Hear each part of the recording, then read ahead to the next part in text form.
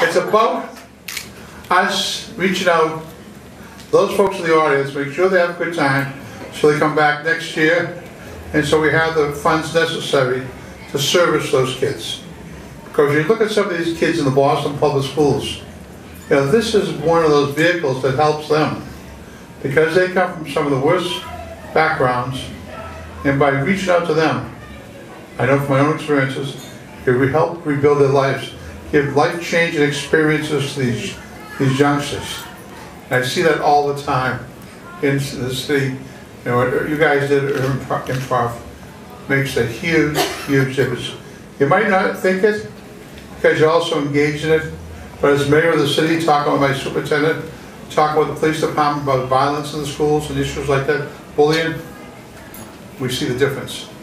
It's because of what everyone in this room does for those kids, because, my business today, we're not in the business of helping people.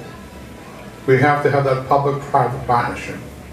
This public-private partnership works so well in the city of Boston. Until government gets itself straightened away, urban improv's gonna be needed more and more and more, because there's more kids out there who come and need, crying for their help.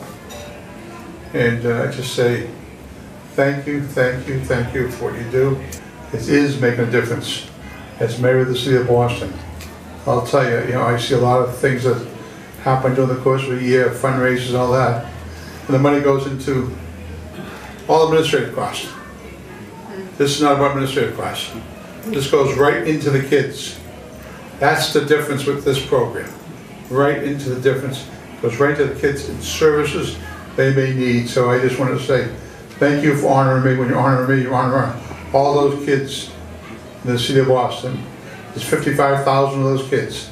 You're making a difference in their lives. Thanks a million.